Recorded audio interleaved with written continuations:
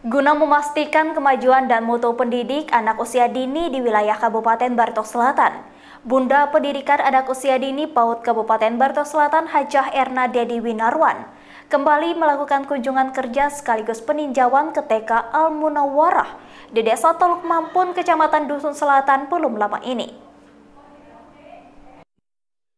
Dalam kunjungan tersebut, Bunda PAUD Barito Selatan yang juga Ketua TV PKK Barito Selatan didampingi langsung penjabat Bupati Barito Selatan dan sejumlah pengurus tim penggerak PKK Kabupaten Barito Selatan.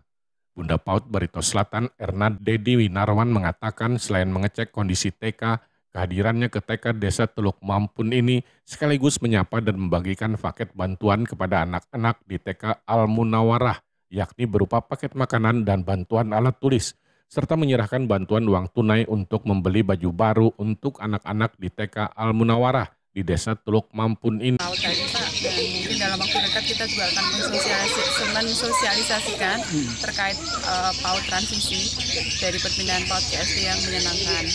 Selain itu kami tadi juga uh, menghimbau untuk para guru yang ada di sini untuk uh, peningkatan insentif tadi untuk lebih komunikatif dengan pihak dinas untuk melengkapi semua dokumen-dokumen. Karena tanpa kelengkapan dokumen tersebut pihak dinas mungkin juga akan terhambat. Jadi kami menghimbau untuk lebih komunikatif lagi antara pihak dinas dan guru-guru pagi. Alhamdulillah hari ini saya sangat bangga, sangat bahagia.